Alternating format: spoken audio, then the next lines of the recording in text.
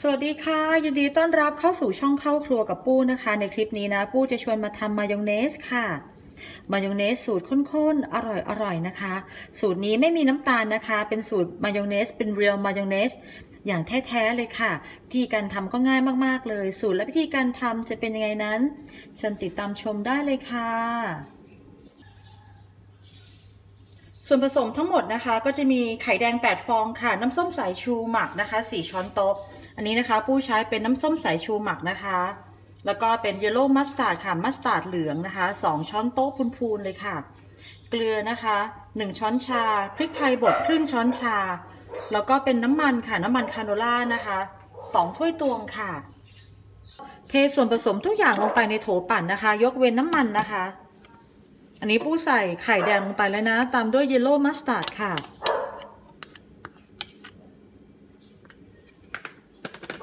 น้ำส้มสายชูหมัก ใส่เกลือแล้วก็พริกไทยนะคะ เดินเครื่องปั่นส่วนผสมให้เข้ากันนะคะ เป็นเวลาประมาณ 1 นาทีค่ะ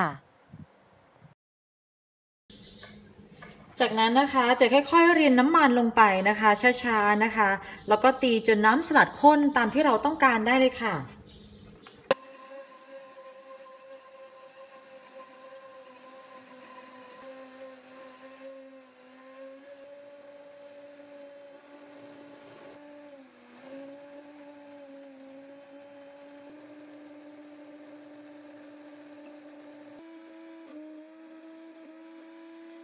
อันนี้นะคะรีเป็นลักษณะนะคะปู้จะเอาข้นประมาณนี้นะคะ เวลาที่เราตีน้ำสลัดตีมายองเนสนี่นะคะ ถ้าเผื่อเรารู้สึกว่ามันข้นเกินไปเราสามารถเติมน้ำส้มสายชูสักเล็กน้อยลงไปก็ได้นะคะ แล้วก็ชิมรสชาติดูว่าถูกใจค่ะ หรือว่าเราจะเติมน้ำต้มสุกลงไปแทนก็ได้นะคะ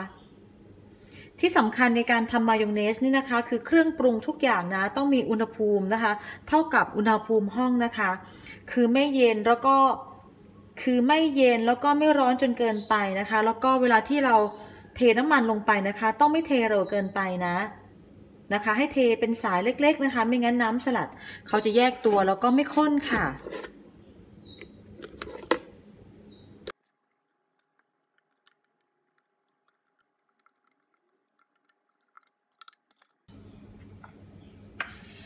ถ้าเราตีน้ำสลัดแล้วมันแยกตัวนะคะ ก็ไม่ต้องตกใจค่ะ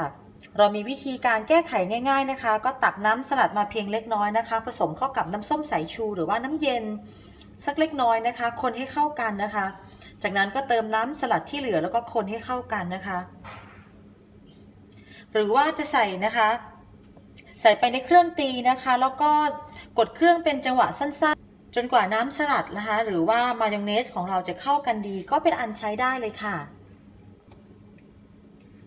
น้ำสลัดแบบข้นหรือว่ามายองเนสสูตรนี้นะคะ เป็นมายองเนสแม่บดนะคะ สามารถนำไปดัดแปลงต่อยอดทำเป็นน้ำสลัดแบบข้นอื่นๆ ได้อีกมากมายเลยค่ะ เช่นพวกน้ำสลัดวาซาบินะคะ เป็นน้ำสลัด Thousand Island tartar sauce หรือว่าซอสค็อกเทลที่กินกับกุ้งต้มซีฟู้ดต้มนะคะเดี๋ยวคลิปต่อ ๆ ไปนะคะ ปู้ก็จะทำ ตัวน้ำสลัดแบบอื่นๆ มาให้เพื่อนๆได้รับชมนะคะ ฝากติดตามด้วยนะคะ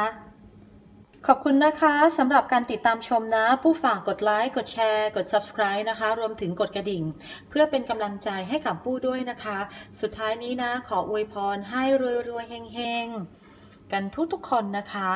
คลิปนี้ต้องขอตัวลาไปก่อน พบกันใหม่คลิปหน้า สวัสดีค่ะ